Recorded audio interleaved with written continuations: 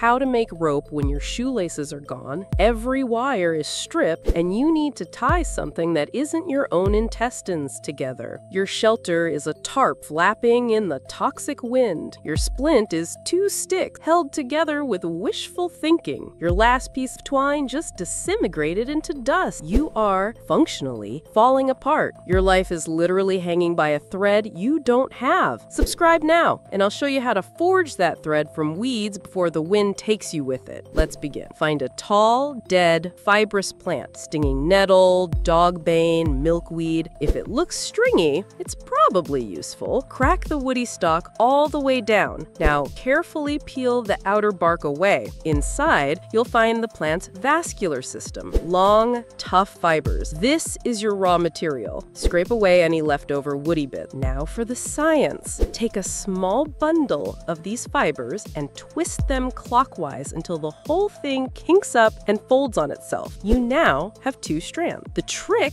is the reverse wrap. Twist the two strands away from you, clockwise, but wrap them over each other towards you, counterclockwise. This tension is physics in action. The opposing forces lock the fibers together, creating a cord that is stronger than its individual parts. Keep adding in new fibers as you go, overlapping them with the old ones. The friction holds them in place. Congratulations! You've made a crude but effective rope from a dead weed. Now you can tie down your shelter, set a snare, or finally hang that annoying neighbor who keeps stealing your rainwater.